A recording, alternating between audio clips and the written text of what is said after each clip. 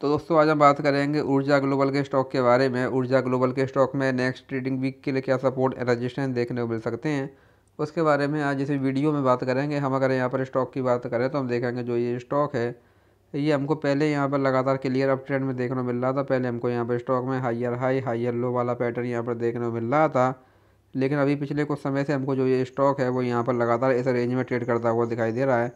तो अब अगर यहाँ पर स्टॉक अपनी इस रेंज को ब्रेक करता है देन यहाँ से हमको स्टॉक में अगेन एक अच्छी वन साइड मूवमेंट यहाँ पर देखने को मिल सकती है। आज हमको स्टॉक में one point three eight percent की यहाँ पर गिरावट देखने को मिली है।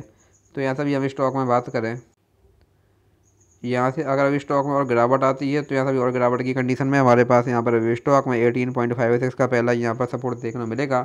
अगर स्टॉक ने इसको ब्रेक किया देन यहाँ से हमको स्टॉक में अगेन एक बड़ी गिरावट, एक हैवी सेलिंग यहाँ पर देखने मिल सकती है। इसके बाद हमको यहाँ पर स्टॉक में सिक्सटीन एंड देन यहाँ से हमको स्टॉक में अगेन थर्टीन तक के लेवल्स भी यहाँ से अभी देखने को मिल सकते हैं। एज ए नेक्स्ट यहाँ पर सपोर्ट वही यहाँ से अब अगर स्टॉक में रिकवरी आती है तो यहाँ सब रिकवरी की कंडीशन में हमारे पास यहाँ पर स्टॉक में ट्वेंटी वन का पहला यहाँ पर रजिस्ट्रेशन देखने को मिलेगा। अगर स्टॉक इसको भी यहाँ ब्रेक करता है देन यहाँ से हमको स्टॉक में ट्वेंटी फाइव और अगर स्टॉक इसको भी यहाँ ब्रेक करता है देन यहाँ से हमको स्टॉक में अगेन एक बड़ी तेज, एक बड़ी बाइंग यहाँ पर देखने को मिल सकती है। इसके बाद हमको यहाँ पर स्टॉक में ट्वेंटी एट और thirty five thirty eight and forty तक के लेवल्स भी यहाँ से अभी देखने को मिल सकते हैं। तो ये स्टॉक में कुछ इंपॉर्टेंट लेवल्स हैं, आप इन पर ध्यान दे सकते हैं।